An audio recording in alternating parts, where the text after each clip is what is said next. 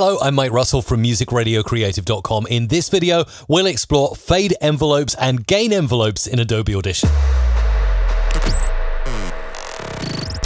If you're enjoying the stuff I put out on my channel, please do hit the like button on this video. Also remember to subscribe and ding that bell so you never miss another audio production tutorial from me. Here, for this example, I've got a piece of music, simple piece of music from our production library number six. Sounds pretty good, doesn't it? And I'm going to show you how these effects work in amplitude and compression and why you might use them. So fade envelope is really, really simple. Essentially, it will provide a fade to the whole of your audio piece. Now, this can be really handy. For instance, if you have like a bell curve here, you are literally fading your audio out like this. And you can shape it using these keyframes as well. If you're not quite happy with how exactly it is, you can move these presets around ever so slightly.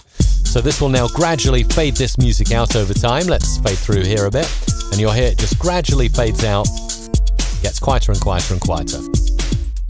So if you want to do a really nice smooth fade, say you've produced a music track and you want it to just slowly fade out, or maybe you're just introducing a podcast and you want a nice smooth fade rather than a sharp fade down, the bell curve is pretty good. You've got other stuff as well, smooth attack where it fades something in slowly over time, zigzag cut like this. It can fade you up and down at the same time and then back up again. All of this is possible with your fade envelope. You can also smooth the ends if you want to smooth fade in or fade out on things. Um, so that does fades on your audio, but it's always going to keep it at the consistent high volume. If you want to go into more detail and change the gain throughout, that will mean you'll need to go to gain envelope where you can do all kinds of things like you can bump audio up by 3 dB. Uh, so from the start, fading slowly up to 3 dB and back down. This might be good for a music track that you want to increase in volume. You can smooth the ends like this and you can draw on keyframes wherever you want. Unlike the fade envelope, which is just about the fade, you can actually bump up audio wherever you want. And of course, if you do a selection, it's going to uh, put it inside the selection or the whole thing. So you can really go through.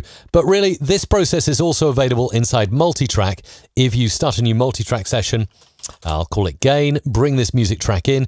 You've got this kind of same gain envelope here, which can increase and decrease the volume. And also if we pop out the automation lines, you can do it here on a track level basis as well, just like that. So really both of those are pretty old school effects. I don't really use fade envelope or gain envelope a lot, but they're there and it's really good to know what they do.